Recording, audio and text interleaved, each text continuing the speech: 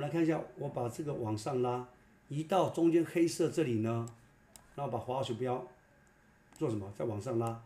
我这样实际上看得比较清楚。来，老师看一下，我们来对一下哦。第一轨是语音旁白有声音，可是这里就没声音啦、那第二轨的这是背景音乐，可是当刚刚我们加片尾的时候，下面有声音呢。你加我刚没发现到，全都往下拉，这里有声音呢，有看到吗？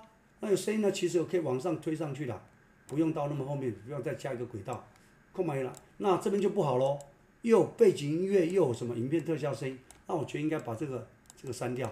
那怎么删？